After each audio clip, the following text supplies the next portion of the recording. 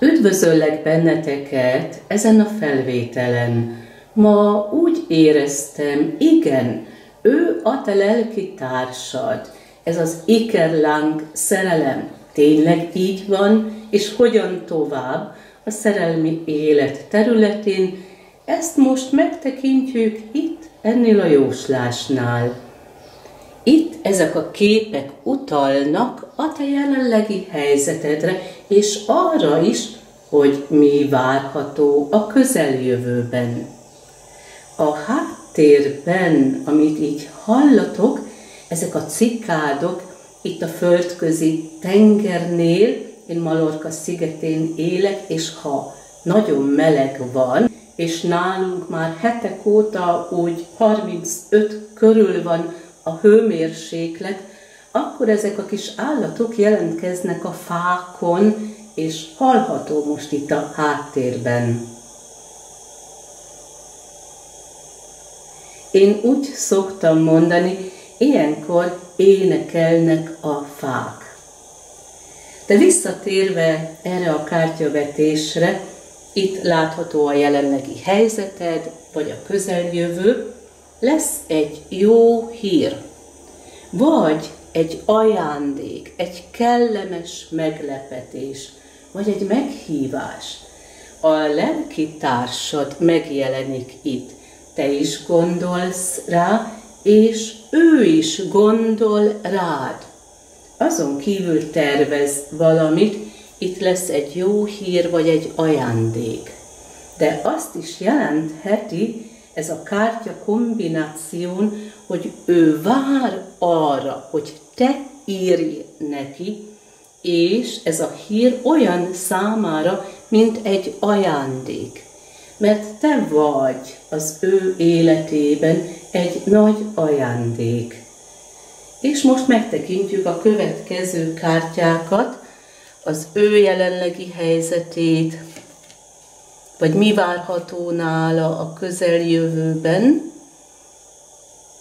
Ez a katonatiszt itt utalhat hivatalos dolgokra, vagy bírósági ügyre, itt pénzről van szó, vagy kiadásokról, azt is jelentheti, hogy valaki parancsolgat neki, mint egy katonatiszt, ez lehet egy férfi, lehet egy nő is, hiszen a kártyáknak szimbolikus jelentése van, és követel tőle pénzt.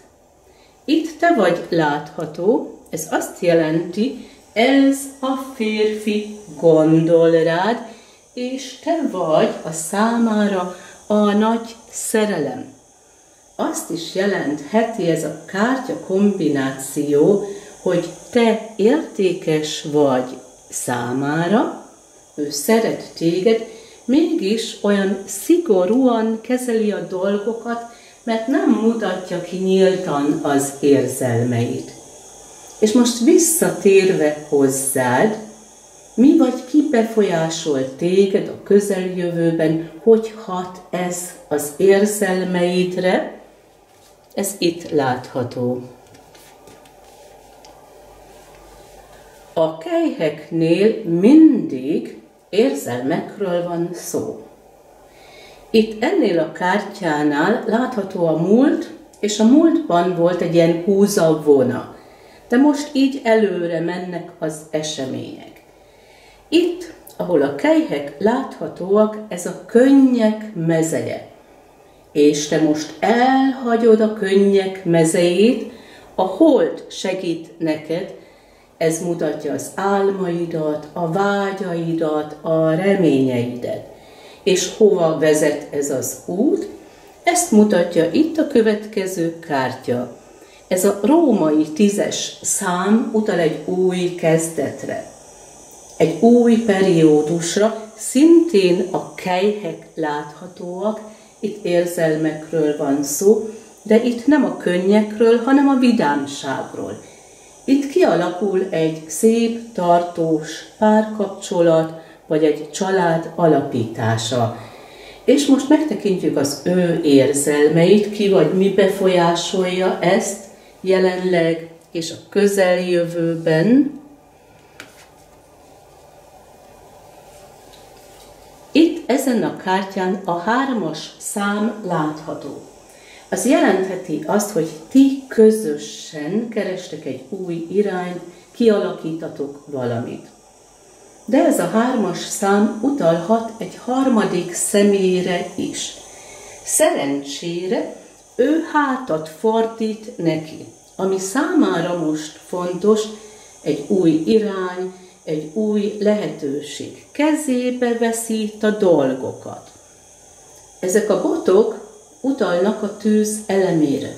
Az jelenti az ő bátorságát, az erejét, a lelkesedését, és ez lesz az új irány. Ez a második bot itt mellette téged szimbolizál. Te ott vagy mellette, te ott vagy a közelében, de ő nem érint meg téged. Ennek is szimbolikus jelentése van, mégpedig arra utal, nem mondja meg azt, amit tervez. De a későbbiek folyamán nyitott lesz erre, lesz itt egy közös életút, egy új irány. És itt a csillagok segítenek, mert a csillagok szerencsét hoznak. Ez lehet egy spirituális terület is. Azon kívül a csillagok jelentik a csillagképeket is, minden úgy lesz, ahogy a csillagokban ez meg van írva. Annyit tudunk, hogy ő a te lelki társad, de miért? Mi vonz össze benneteket? Erre utal itt ez a kártya. Itt ez a mágier, vagy ez a varázsló azt jelenti, hogy megvan köztetek ez a mágikus vonzalom, ez a varázs erő. Tehát ez azt jelenti, igen, ő a te lelki társad. Igen, ő a te ikerláng szerelmed. És én kívánok neked egy szép napot, nagyon sok szeretettel, Denderá.